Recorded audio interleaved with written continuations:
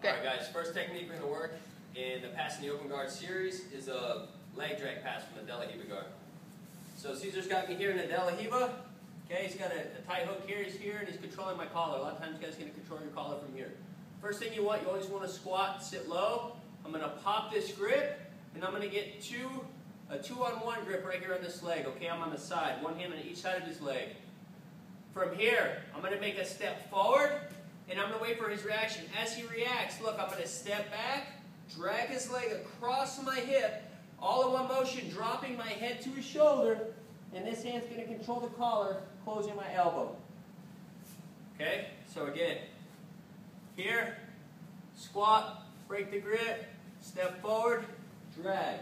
From here, it's very important you keep the back of your arm in front of his thigh and not over his knee. If I'm here, he can pull this leg out and replace his guard.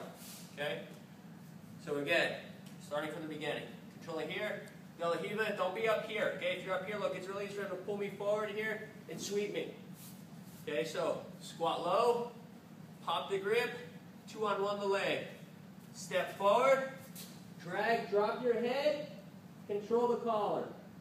From here, I'm going to let go, controlling my hand on the belt, closing my elbow, bring my head to the other side of his head, get him to look the other way. Right? Let's look at it from this side. So from here, he's in the De La guard. Okay? Squat, break the grip. Step forward, drag, drop your head, control. This hand lets go, controls his belt, Bring your head to the other side. Get him to face away from you here. From here, now you can start to walk around, passing the guard. Alright. So one more time. Full speed. Okay? Face.